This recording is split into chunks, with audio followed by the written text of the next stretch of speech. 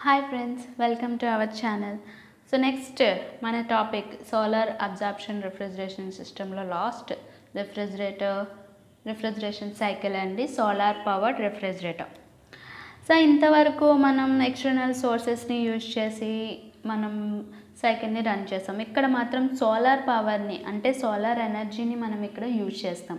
Same ఇది కూడా చాలా సింపుల్గానే ఉంటుంది. కాకపోతే ఇక్కడ ఏంటంటే కంప్రెసర్ వీటికి బదులుగా మనం సన్ నుంచి వస్తున్న సోలార్ ఎనర్జీనే మనం జనరేటర్గా యూజ్ చేస్తామన్నమాట. సో ఇది uh, లైన్ డయాగ్రామ్ అండి. సో ఇది కండెన్స్ సో ఇక్కడ ఈ సన్ రేస్ని మనం కలెక్ట్ చేసుకొని అంటే solar collector cum generator so ఇక్కడ మనం తీసుకున్న ఈ రెఫ్రిజరెంట్ ఏదైతే ఉందో ఇక్కడ నుంచి సోలార్ ఎనర్జీని కలెక్ట్ చేసుకొని జనరేటర్గా వర్క్ అవుతుంది. ఇక్కడ ఆయన వేపర్ కాస్త ఈ సపరేటర్ నుంచి సపరేట్ అయ్యి మనకి కండెన్సర్లోకి వెళ్తుంది.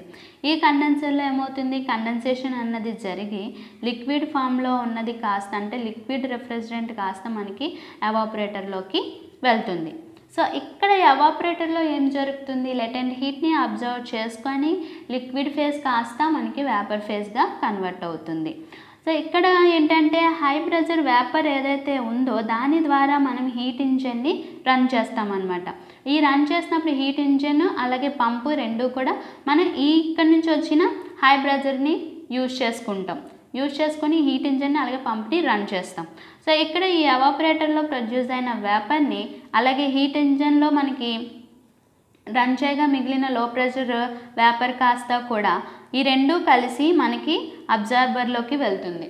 ఈ అబ్జార్బర్లో ఏమవుతుంది? మళ్ళీ ఈ అబ్జార్బర్ ఈ అబ్జార్బర్ నుంచి సేమ్ పంపు ద్వారా మనకి సోలార్ కలెక్టర్లోకి వెళ్తుంది. సేమ్ ఫామ్ uh, అవుతుంది. అలాగే కండెన్సర్లోకి వెళ్తుంది నెక్స్ట్ ఎవాపరేటర్ అనేది జరుగుతుంది. ఇది కూడా మనకి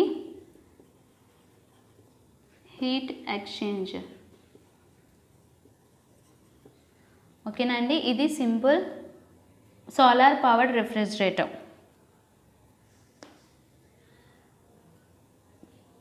ఈ వీడియో కనుక నచ్చినట్టయితే లైక్ చేయండి షేర్ చేయండి అలాగే సబ్స్క్రైబ్ చేసుకోండి. Thank you.